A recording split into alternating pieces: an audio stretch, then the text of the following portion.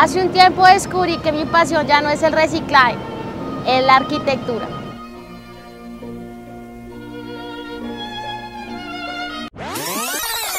Ah, no mentira, mi reciclamores, lo que pasa es que estoy en la planta de Gerdau y Diaco, la planta que más recicla chatarra en el país. Imagínense que recibe 360 mil toneladas al año. Y por eso el día de hoy ustedes van a aprender conmigo cómo es el proceso del reciclaje de la chatarra, así que acompáñenme.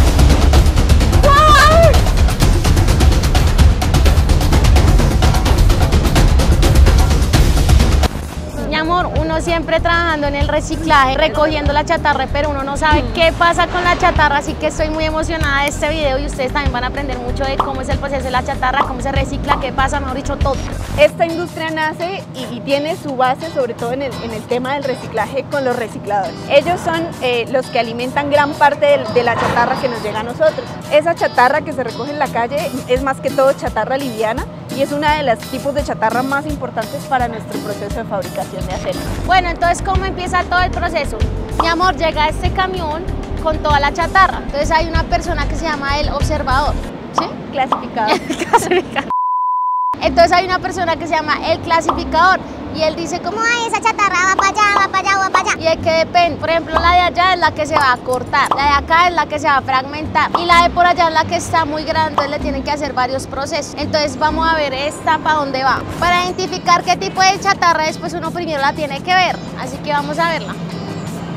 Este es un tipo de chatarra liviano y va para el lado de allá, que es la fragmentadora. Ya les mostramos cómo es el proceso.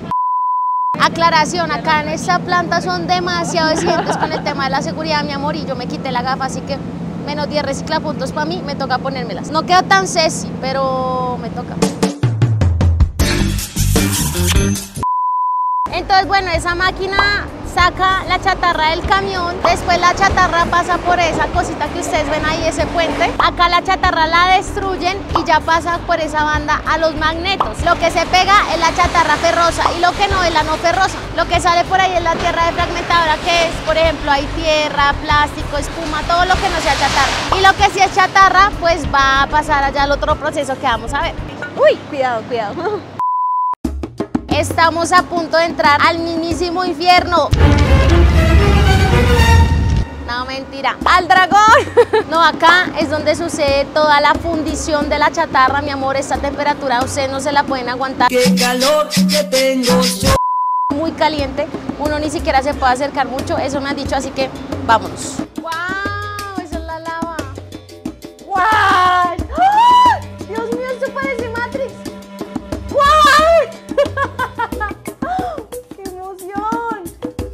Esto que ustedes ven está a 1600 grados. Ya se imaginarán el calor tan madre. ¡Fuego!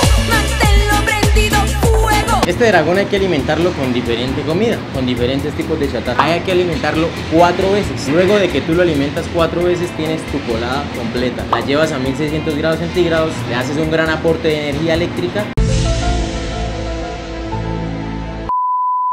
Fundes y empiezas a obtener acero. Lo que nosotros hacemos es a toda esta chatarra le agregamos energía eléctrica, energía química y aleaciones y esa mezcla te produce acero. Les voy a presentar a un hombre con alma de acero. Con ustedes, Don Edgar. Don Edgar, qué pena y lo interrumpo. Yo sé que usted tiene un cargo muy importante y de usted depende todo lo que está pasando allá. ¿Cuántos años lleva en la compañía? 17 años, Empezó como. siendo ayudante de refractario. Y ahorita ese aquí, mejor dicho, Yo es- soy auxiliar de horno eléctrico. He tenido la posibilidad de crecimiento profesional e ir evolucionando. ¿qué opina de esa frase de alma de acero? Que todos aquí estamos formados de, tenemos la mentalidad de trabajar con alma de acero. Es un hombre de acero entonces. Aquí estamos trabajando día a día, Todo se derrumbó dentro de mí. centraditos. Bueno, muy bien. Y Chao, esperamos que Dios nos dé la, la oportunidad de seguir otros años. Bueno, don Edgar, ya me voy. Bueno. Estamos a punto de bajar para ver esto en vivo y en directo, mis reciclamores, pero ¿qué me dicen? Las chispitas me pueden quemar el pelo, ¿se imaginan una chispita y luego yo... Ahora sí la Mar ah. Mire, este es el peinado, la táctica para no quemarse las trenzas. Parezco la reina Isabel.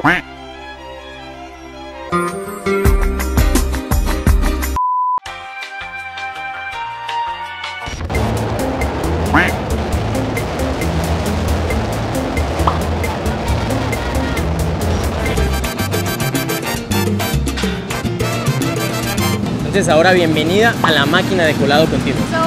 Vamos. Con usted, la jefe de colado.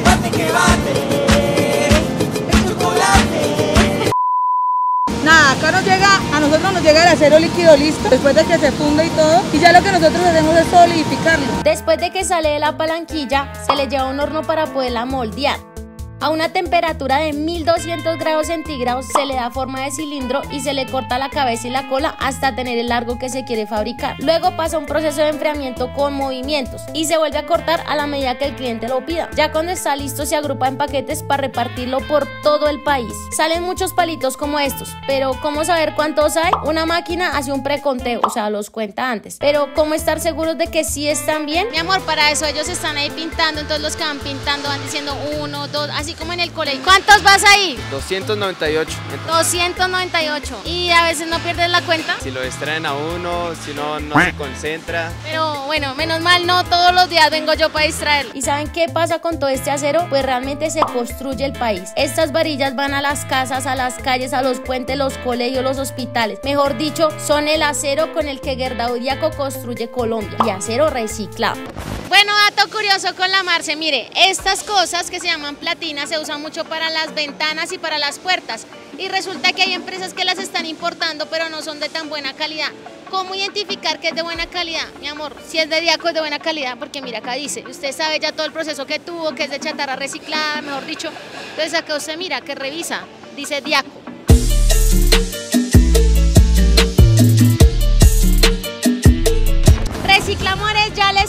Cómo se recicla la chatarra. Pues les cuento que sigo acá en Gerdau Diaco, pero ahora viendo qué pasa con los residuos que salen del reciclaje de la chatarra.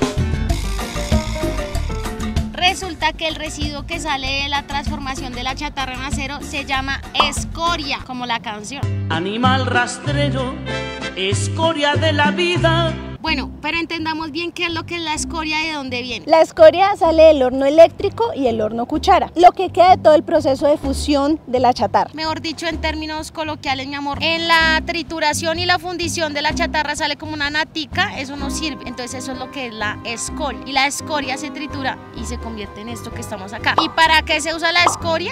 Principalmente se usa para todo el tema de asfaltos, asfaltos de vías principales, de vías terciarias, todo el tema de rodadura. Y con esto también hacemos prefabricados. Entonces son ladrillos, que los llamamos aquí adoquines, losetas, que son como baldosas, Eso fue todo, mis reciclamores. Acá desde Gerdau Diaco, la empresa que le pone alma de acero a todo lo que hace. Les digo, chao, mis reciclamores.